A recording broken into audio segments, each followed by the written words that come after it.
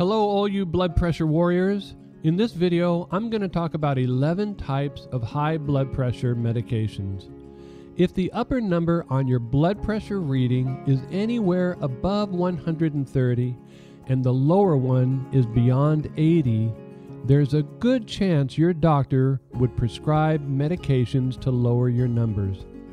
Each of these medications works differently and is prescribed according to your specific condition. Number one, diuretics. A high level of sodium is often the main culprit behind elevated blood pressure levels. Diuretics acts as sodium guards. They flush out excess salt and water from the body. In the process, your body might lose potassium as well.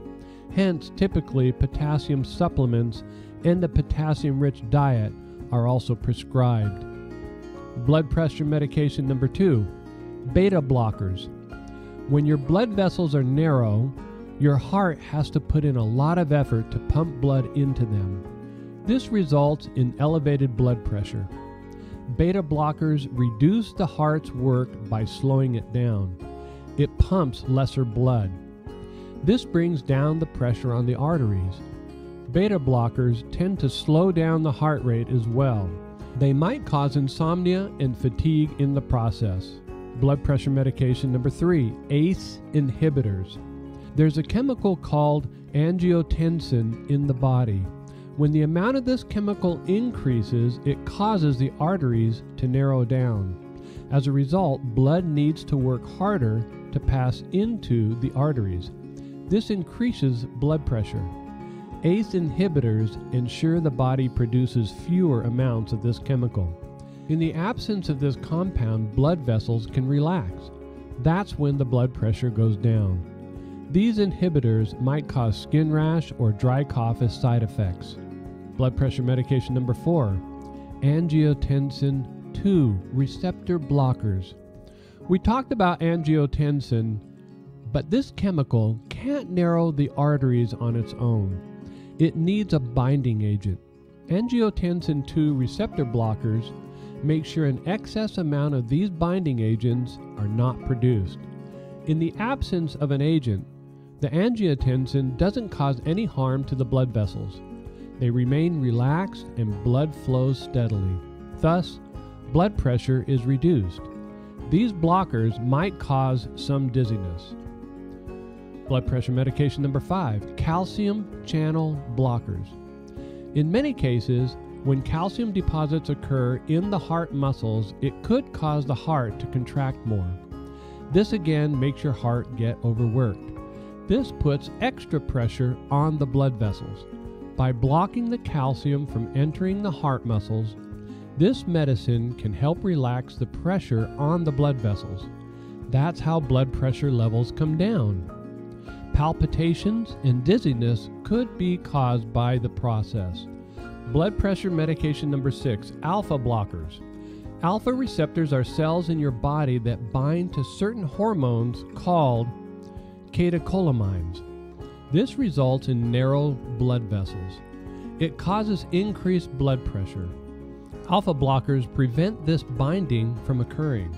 Hence, blood vessels stay relaxed and blood pressure stays normal. Alpha blockers could cause some amounts of dizziness. Blood pressure medication number seven alpha 2 receptor agonists. Your nervous system is also involved in your blood pressure imbalance. It produces hormones that control your unconscious reactions. Remember adrenaline? Such actions by the brain could cause elevated blood pressure numbers. The alpha 2 receptor agonists block the release of such hormones. The result is the lowering of blood pressure. This medication could cause dizziness. Blood pressure medication number 8 combined alpha and beta blockers.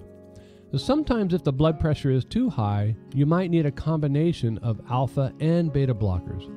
They work together to reduce blood pressure.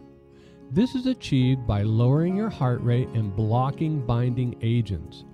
They're usually prescribed during an emergency or if there's a risk of heart failure. These drugs could cause high blood pressure to fall rapidly. Blood pressure medication number nine, central agonists. Now, these drugs invoke the help of your nervous system again. They tell your brain to send messages through the nervous system for the blood vessels to relax.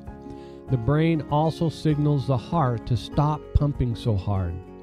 These effects cause a reduction in blood pressure. There's a chance your pressure might fall too low with the use of this type of medication. This might cause weakness and dizziness. Blood pressure medication number 10 peripheral adrenergic inhibitors. When your brain sends messages through neurotransmitters, some of them instruct the blood vessels to constrict. Further narrowing of blood vessels in those already dealing with hypertension causes more trouble. These drugs block those messages from the brain. As a result, blood vessels don't constrict. Blood starts to flow normally through relaxed vessels. Hence, blood pressure is reduced. Diarrhea or heartburn could be side effects of this drug. High blood pressure medication number 11, vasodilators. There are several small arteries in your body called arterioles. Each of them has muscles on their walls that contract heavily in hypertension. This causes less blood flow. Vasodilators ensure these muscles are relaxed. As a result, there's a larger space for blood to flow through these arterioles. Thus, there's a drop in blood pressure. These drugs could cause headaches and palpitations. Now, knowing about the different kinds of blood pressure medications could ease your mind while talking to your doctor. Depending on the severity of your hypertension and your other medical conditions, your doctor might prescribe one or more of these drugs. Either way, don't ignore high blood pressure numbers. Prescribed medications are often needed to get those numbers under control and prevent life threatening situations. So, what high blood pressure medications do you take? Let me know below in the comments. I'm curious.